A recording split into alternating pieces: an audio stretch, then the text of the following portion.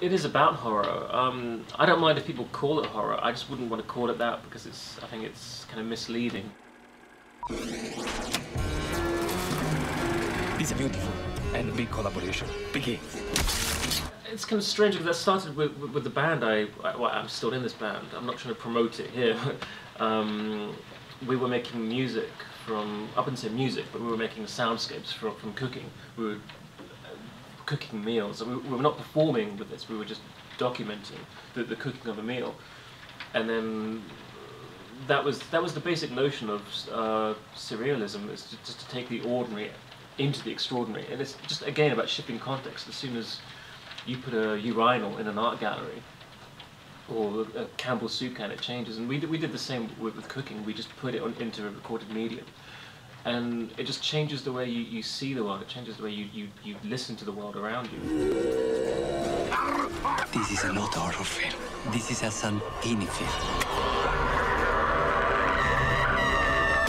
The machine is something that transforms an everyday sound, let's say boiling something, and you put it through an oscillator, you put it through a tape delay, it becomes something else. There's great beauty in that, but there's also, there's also a, a quite a, a dark power as well. The sound of a cabbage being stabbed is something we all hear in the kitchen, and we we associate it with food and you know normal stuff.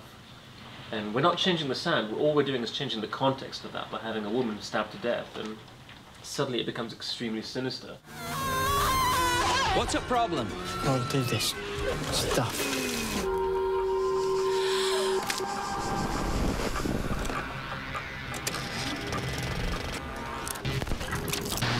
We had a lot of screams, like hours and hours of screams. And actually, it does it does get to you. I mean, when you're doing the preparation for the sound mix, so usually when you're in the sound mix, it's all laid down and you're just tweaking it. But um, the homework, which you do at home, listening on your headphones to pinpoint the timings, that you can see why someone would just start to kind of imagine things because you're just hearing these screams again and again and again, especially at night time.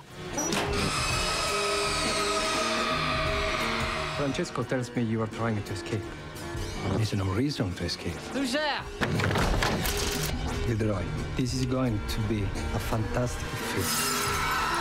This game's up, old boy. No more jumping through hooks. Don't be afraid.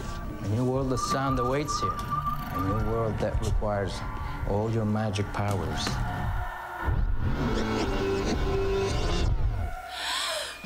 It is, I guess it's, it's a fetish film, let, us be honest about it.